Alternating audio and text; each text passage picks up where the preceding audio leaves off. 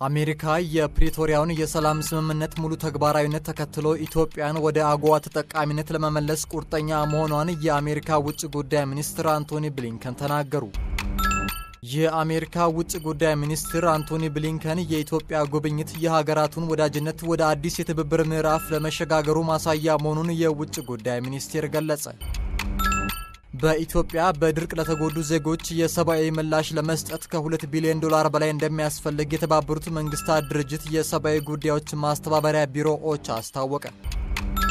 የአዲስ አበባ ከተማ አስተዳደር የሕዝቡን የቤት ጥያቄ ለመመለስ በመንግስትና በግል አጋርነት የሚሰሩ የመጀመሪያ ዙር 100 ሺህ ቤቶችን ግንባታ ፕሮጀክት ለማስጀመር የመግባቢያ ሰነድ ተፈራረመ። ኢትዮጵያና የተባበሩት አረብ ኤምሬቶች በሲቪል አቪዬሽን ዘርፍ በጋራ ለመስራት የሚያስችላቸውን የመግባቢያ ሰነድ ተፈራረሙ።